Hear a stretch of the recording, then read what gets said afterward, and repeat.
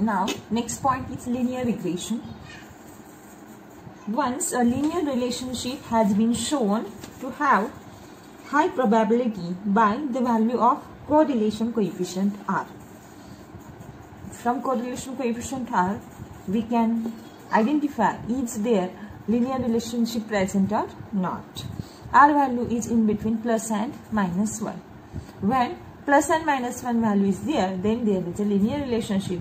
Plus 1, then positive linear re relationship and when minus 1, there is a negative linear relationship. But when R is equal to 0, that means there is no relation between the x value and the y value.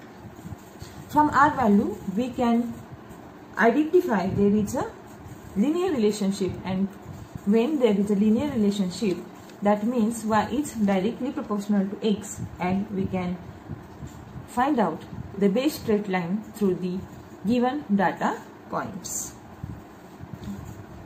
Again, there is a, another method to find out the linear relationship and this is the linear regression method and you know very well the second name of this method name of this method is least square method least square method by using least square method we can find out the slope and the intercept here as if your background is mathematical then you know very well the straight line equations y is equal to mx and y is equal to mx plus c. These two are equations. y is equal to mx then graph is like this and when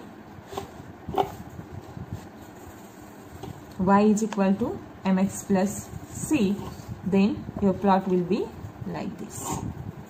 This one is y, this one is x, m is slope and c is the intercept.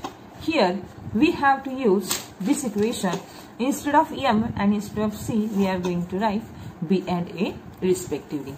This type of plot will observe when we use this equation. Here y depends on the x but x does not depend on y. Therefore y is called as a dependent variable and x is called as a independent variable. For example, for example, the regression line which is obtained for the experiment atomic absorption spectrophotometer. On y-axis there is absorption. On x-axis there is a concentration and slope is b and the intercept will be e. To obtain a base straight line equation initially we have to find out b and a. Here b is the slope and a is the intercept and the equations are given here.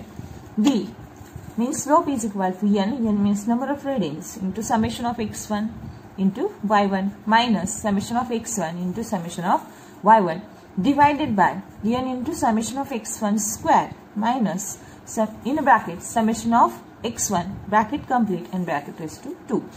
Again as previous these two terms are totally different. Here we suppose in our problem these two values are given suppose x is a concentration y is absorbance then we can write here x1 and y1 values. After putting all values and adding all values we can find out x1 summation of x1 here add all the values we will get summation of y1 then we have to find out summation of x1 y1 then multiply these two columns. These two columns multiply. Then finally add all the values we will get summation of x1 into y1 next obviously summation of x1 is here summation of y1 is here summation of x1 y1 is here. Now this term is different. Summation of x1 square simply just square of this value x1 square. Add all values. Finally, we will get summation of x1 square. Now, all values are ready. Put these values in respective formula and we will find out the value of b, that means slope. Next, now this equation is for intercept. A is intercept which is equal to y bar minus bx bar. Here x bar and y bar are the mean values. Just find out mean of all these values means how to find out mean? x1 bar is equal to summation of x1 divided by n. Now from this equation we will find out summation of x1 here again same y1 bar which is equal to summation of y1 divided by number of readings and above b value you can put here. We can easily find out a value. This is all about linear regression method. Linear regression method is used to find out the best straight line y is equal to bx plus a before that we have to find out the value of slope and value of the intercept now we are going to solve problem on linear linear regression method here is the problem. Calculate by the least squares method the equation of the best straight line for the calibration curve given as follows. Concentration of quinine x1 and unit is microgram per ml. Here are the five concentrations given. Next parameter is fluorescence intensity which is drawn on y-axis 0, 5.20, 9.90, 15.30 and 19.10. This is the data and we have to find out the best straight line equation. y is equal to bx plus a means initially we have to find out b then a and after that put b and a values in the equation of y is equal to bx plus a and y value also given here. remaining problem is if the fluorescence intensity of the test solution containing quinine was found to be 16.1 percent then Find out concentration of unknown quinine in microgram per ml. Means from this data we have to find out B and A. Here is the Y value. Y is equal to Bx plus A. Rearrange the equation and find out the concentration of the unknown.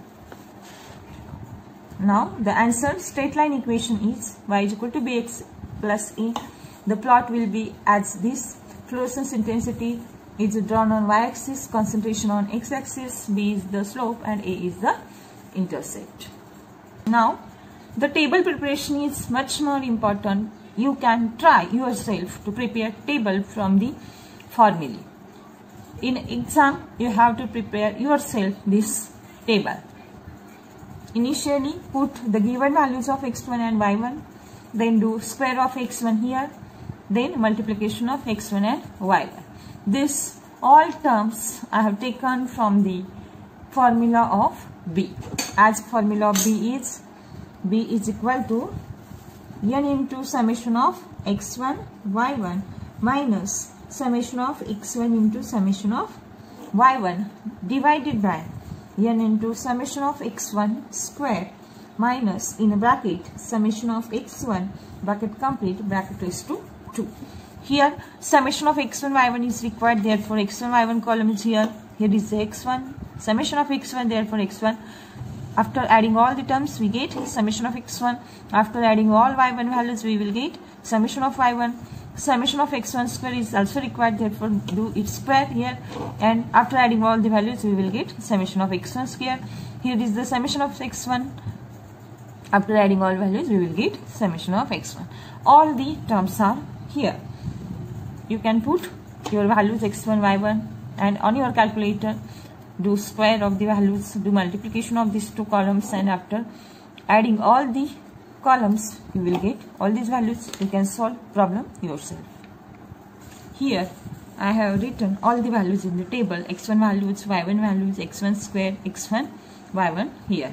After adding x1 column we will get summation of x1 value is 1 here summation of y1 value is 49.5 x1 square after adding all the values we will get summation of x1 square which is equal to 0.30 and after multiplying these two columns here we will get these values and the total is 14.73 here summation of x1 is 1 obviously summation of x1 bracket square value will be 1 from the summation of x1 we have to find out x bar value.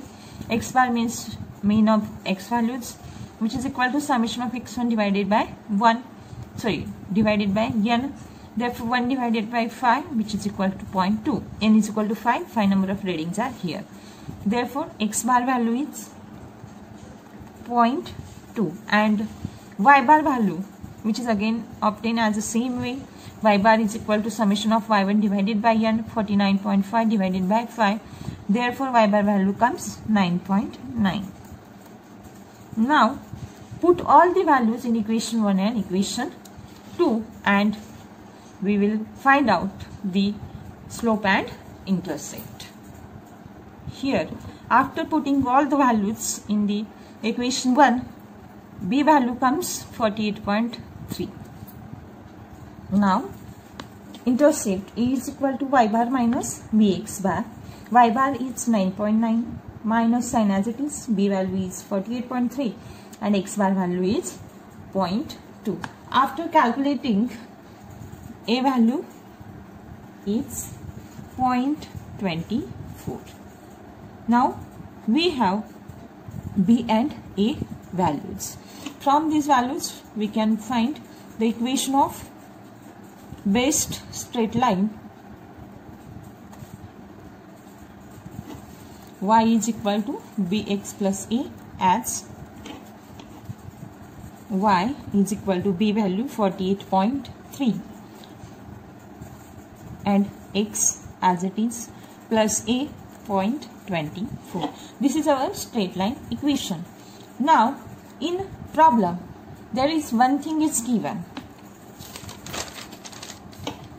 Here the fluorescence intensity of the quinine T solution is given 16.1 that means here y is given we have behind a values we can easily find out x x is the concentration of unknown quinine which is in microgram per ml therefore put y is equal to 16.1 then 16.1 is equal to 48.3 into x plus 0.24. Now we have to find out x value. Six, rearrange the equation as 16.1 minus 0.24 which is equal to 48.3 into x.